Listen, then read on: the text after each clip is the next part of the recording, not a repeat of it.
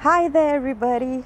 Okay, um, today we went to watch uh, Tom and Jerry, and um, I have to tell you that I really, really enjoyed the movie. I had a good laugh, and um, my kids, you know, actually they are both teenagers, and uh, they enjoyed the movie as well.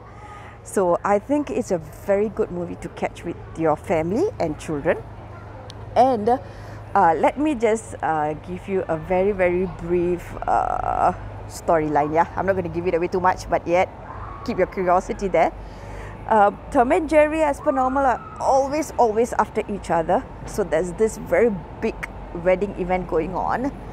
And the cake that they had ready for the bride and the groom is, was just so beautiful and it was like roses and red and pink and yeah the, the wedding was going to happen in on a, on a very big scale in the movie. And then tom and jerry comes into the wedding. So what happens after that is the disaster. Or it was a happily ever after wedding. You want to know go and watch the movie. Bye.